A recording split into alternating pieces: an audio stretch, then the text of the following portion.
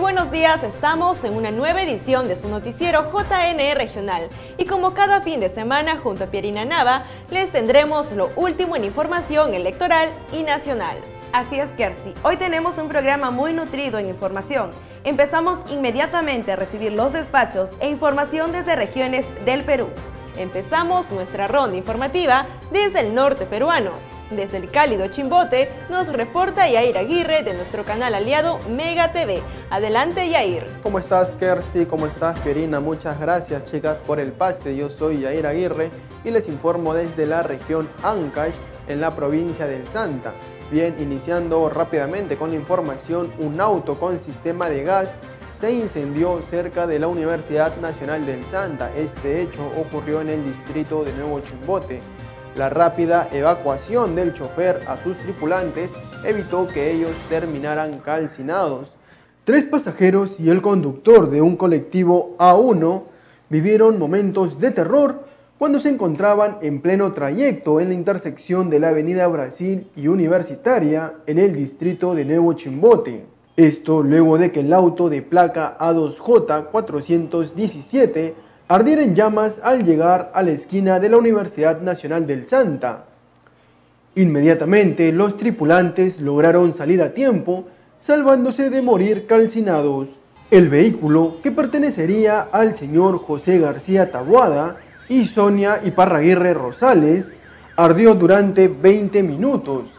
Hasta el lugar de los hechos llegó una unidad de bomberos y personal de serenazgo quienes pusieron a buen recaudo a los transeúntes y estudiantes de las dos casas de estudios cercanas al lugar. Amor, pero creo que ha sido cuando hemos regresado de la farmacia.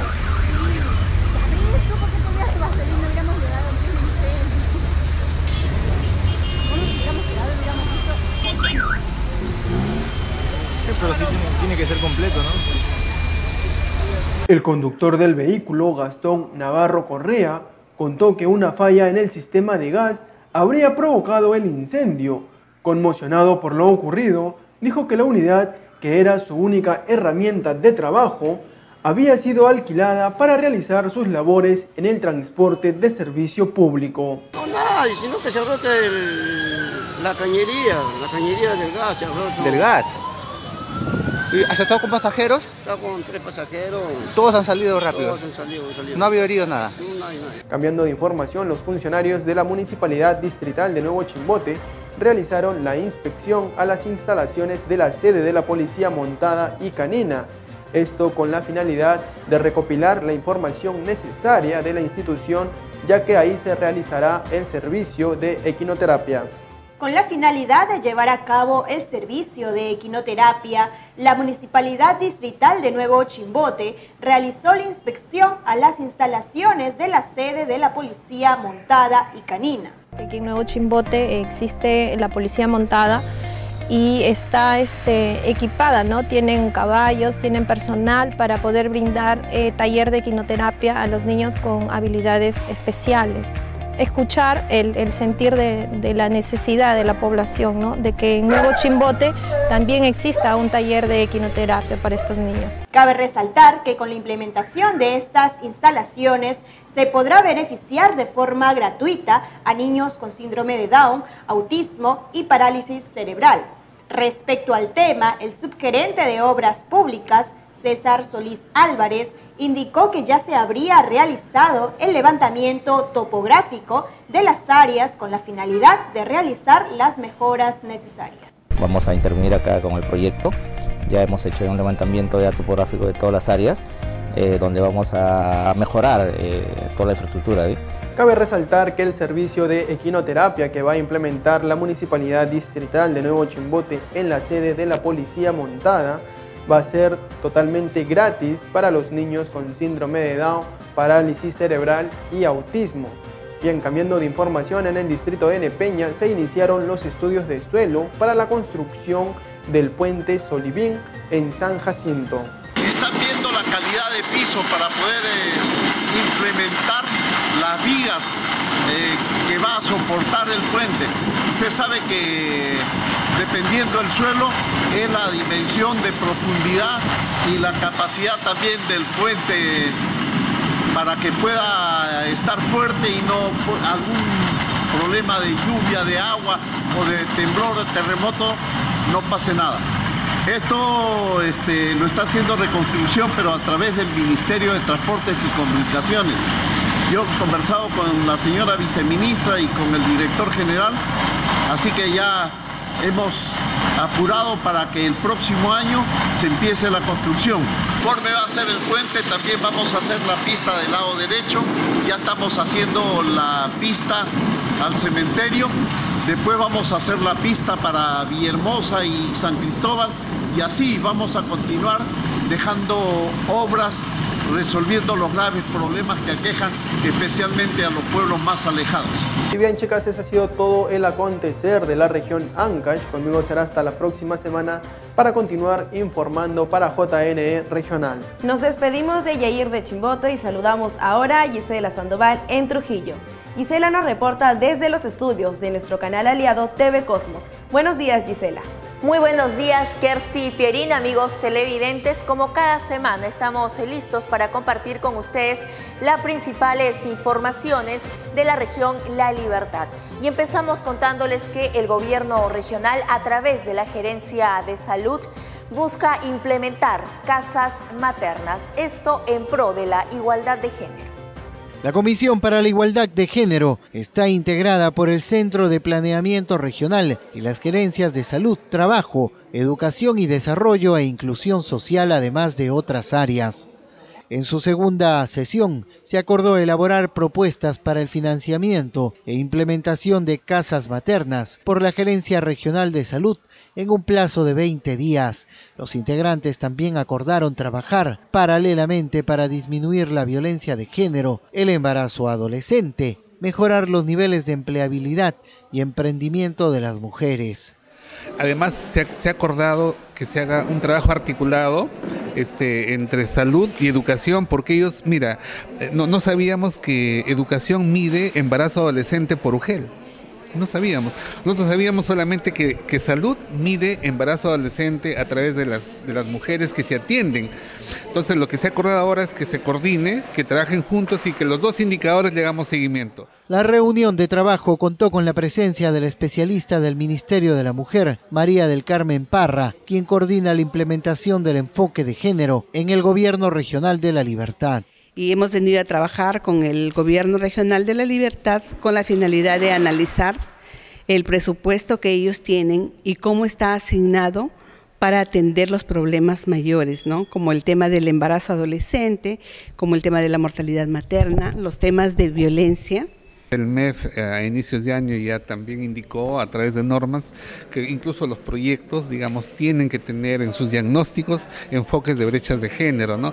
Para que los proyectos consideren a la mujer, digamos, según la brecha que se esté identificando, ¿no? La igualdad de género es una política de Estado que viene impulsando el gobierno de Martín Vizcarra. Esta estrategia es una respuesta a los altos índices de feminicidios y violencia física y psicológica contra las mujeres que se registran en el país.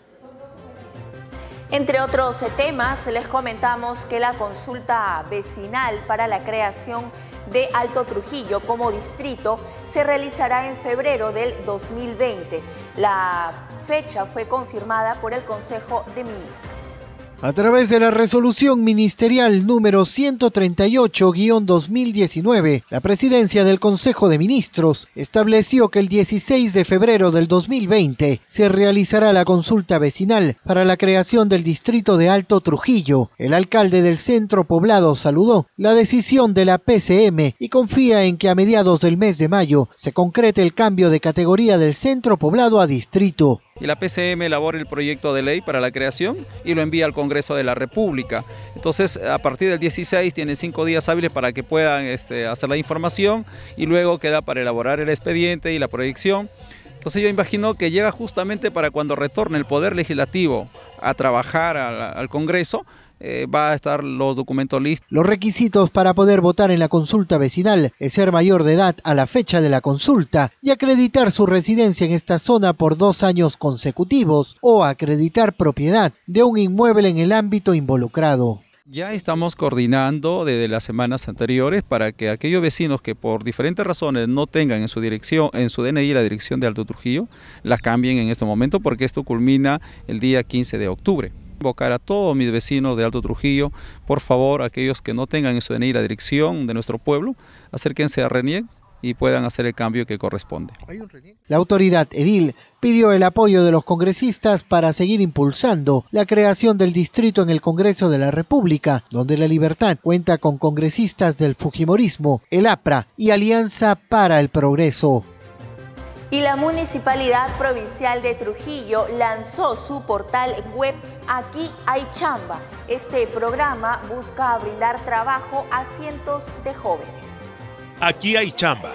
Es el peculiar nombre de un programa que lanzó la Municipalidad Provincial de Trujillo, con el objetivo de ayudar a jóvenes y adultos a encontrar trabajo.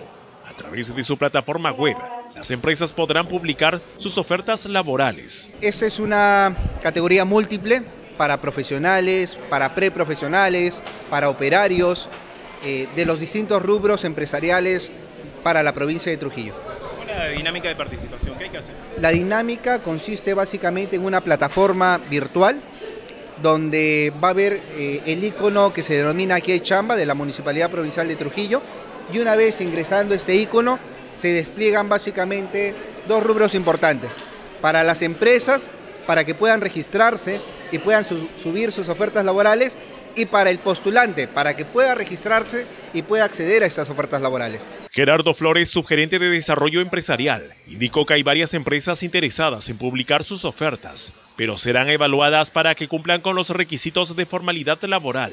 Expresó que esta etapa culminará a fin de mes y desde octubre las personas podrán acceder a la plataforma. Hemos hecho un cálculo porque ya hay 18, 17 eh, empresas involucradas en este proceso colaborativo y participativo entre la municipalidad y entre la empresa privada.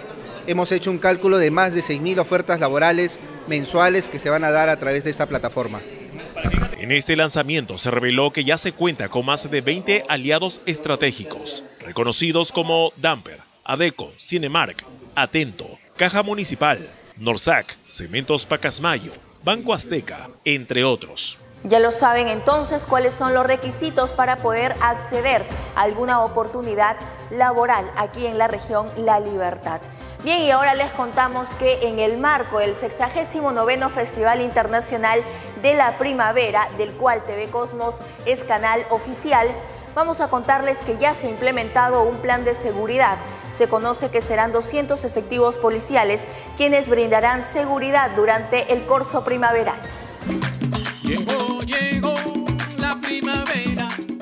Este jueves arriban a Lima las reinas y bastoneras de la edición 69 del Festival Internacional de Primavera y para ello el Club de Leones ya tiene coordinado el plan de seguridad. El trabajo lo hicieron junto a la Policía, Seguridad Ciudadana, Defensa Civil, Cruz Roja, Bomberos y el Ministerio de Salud. En el plan están contempladas las actividades principales de este 69 Festival de Primavera, eh, bueno, este viernes ya con, la, con el arribo de, las, de la delegación, que es muy importante. El sábado, este sábado tenemos la coronación de la, de la reina del festival, es Lania Lera, en el Teatro Municipal. ¿no? Para eso hemos contemplado eh, una ambulancia ¿no? y los primeros auxilios. ¿no? El presidente del Comité de Seguridad informó que 200 efectivos policiales custodiarán el recorrido del corso primaveral el próximo domingo 29 de septiembre. Para nuestras actividades eh, en, distintos puntos de la ciudad tenemos coordinación con cuatro efectivos de policía, un, este, dos motorizados y dos efectivos en camioneta, ¿no? Para los desplazamientos, pero ya netamente en las actividades eh, hay más efectivos a disposición, ¿no? Hablamos mínimo 10. Además, en los próximos días, los ciudadanos podrán conocer a través de la página oficial del festival los puntos de auxilio el día del corso primaveral a fin de evitar cualquier incidente.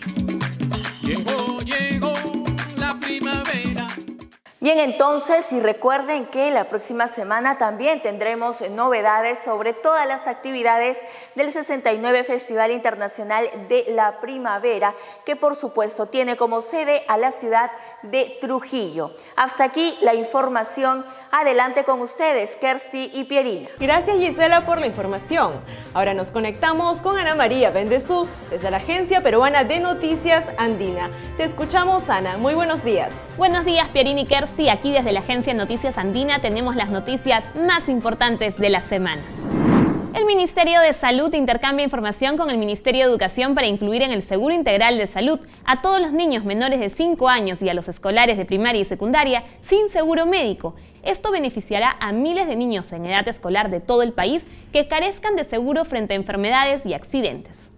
El fiscal del equipo especial Abayato, José Domingo Pérez, interrogará al ex asesor presidencial Vladimiro Montesinos el próximo 24 de septiembre por los presuntos aportes de Odebrecht a la campaña de Fuerza Popular. La diligencia será a las 10 de la mañana en la base naval del Callao. La bancada de Fuerza Popular cuestionó el interrogatorio.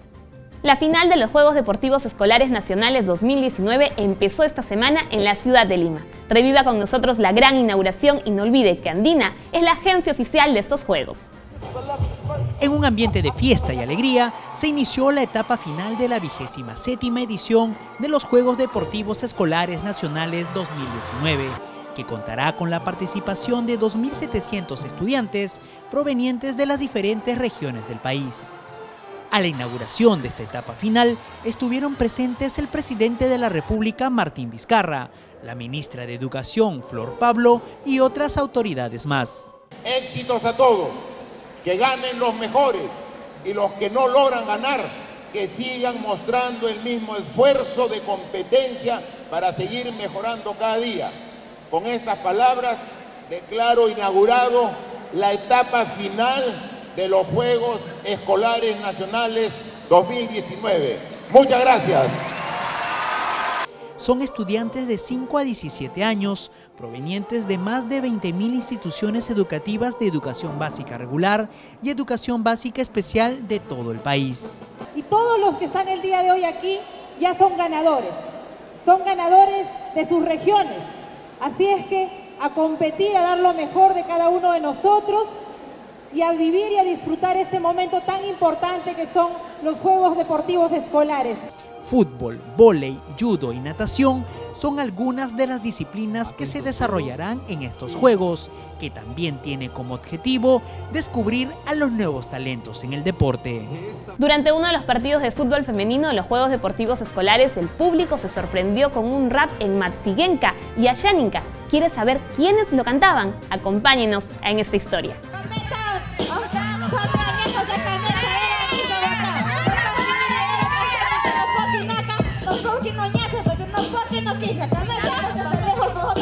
Como suriendo. Nosotros vamos a campeonar, en ese campeonato todos tenemos que ganar. No importa lo que digan en la cancha, no me importa lo que las personas hablen, pero nosotros somos los mejores. Mi nombre es Esmeralda Meli Ortega Cabatiza de la comunidad de Mitiriani y yo nací en una comunidad y aprendí a hablar de la Yánica.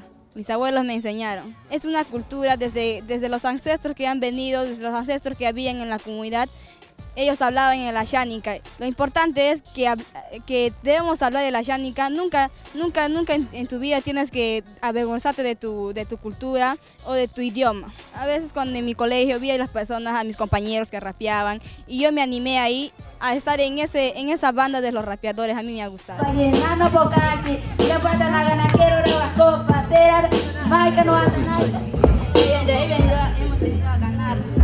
Vengo de la comunidad nativa de Ticumpinia y mis papás me han enseñado este idioma y pues yo sé hablar en, en Machiguenca. Me han, me han animado mis compañeras y pues un poco he hecho y pues me gustó mucho. Esto es todo por hoy y no se olviden de revisar nuestras distintas plataformas digitales y por supuesto visitar andina.p. Muchas gracias Ana María por el reporte desde la agencia Andina. Ahora es momento de hacer una breve pausa y retornamos.